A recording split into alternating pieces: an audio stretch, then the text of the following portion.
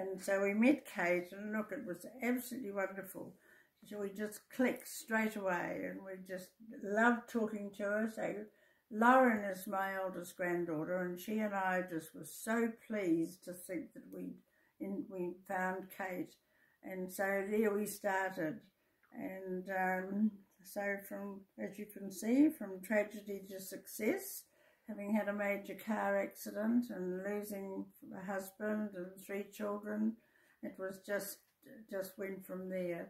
And then I made, and then I turned out to be a, a, um, a Barbara Wilson textile company and retired at 85 and doing that. But but while producing the book, it was great. I enjoyed every minute of it.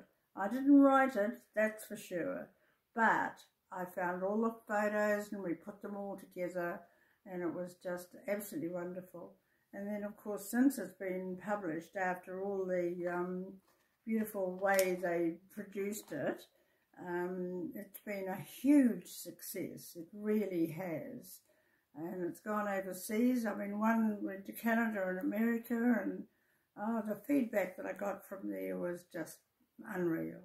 So uh, I just feel, well, you know, just go do. We, we must do what we want to do when we feel like it, and that's exactly what I've done. So I sort of retired at 85, and yeah, so and I love it, and I love letting people have it.